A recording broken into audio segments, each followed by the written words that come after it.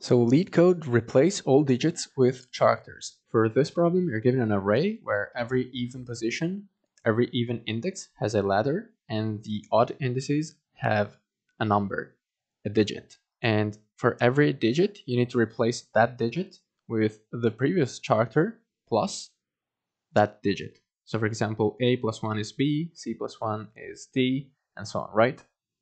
Okay, so the way we're going to solve this problem is, unfortunately, in JavaScript, you cannot edit strings. So we're going to split the string into an array of characters so that we can edit at every index.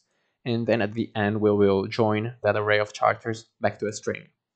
And now the true part of the solution. So what you need to do is loop through all of the odd indices and remember to increment i by 2 every time. Otherwise, you'll also visit the even indices and you only want to substitute the odd indices. And then what you do is you set the character at i to be the character at i minus 1 plus the digit at i.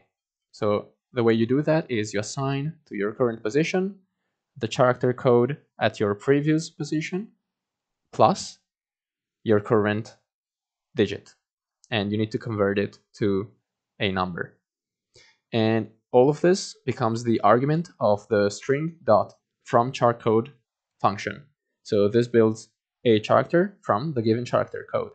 And again, the inside the parentheses, we have the previous character code plus, so we augment it, we add to it the current digit. And that's it. So I'll submit a solution to show you that it works. And the time complexity is O of n, where n is the amount of characters in the string, and the space complexity is also O of n because we need to store the string somewhere. So that's it for me. Thank you and bye.